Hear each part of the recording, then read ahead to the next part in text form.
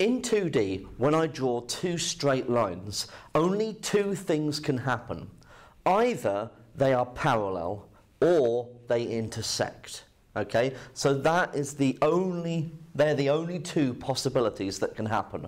So if I draw two straight lines on this whiteboard, they are either going to be parallel or they are going to intersect. Okay, in three dimensions, however, you have three different possibilities. Because essentially in three dimensions you have the situation where the two lines could be parallel okay? That could still happen. So you could have those lines like that.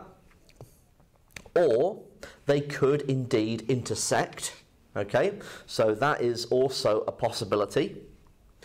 Or they could completely miss each other Okay, so it could be the situation where the two lines just completely miss each other and hence they are known as skew lines. Okay, so there are actually three possibilities that we need to know about. You either have this situation of two parallel lines,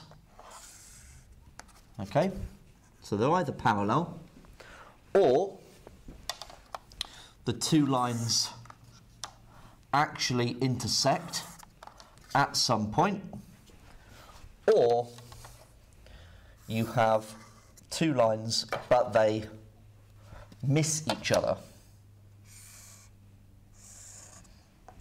Okay, then these would be known as skew lines. Okay, so they are the three possibilities that we find in three dimensions, and we're going to look example, at examples of each of these.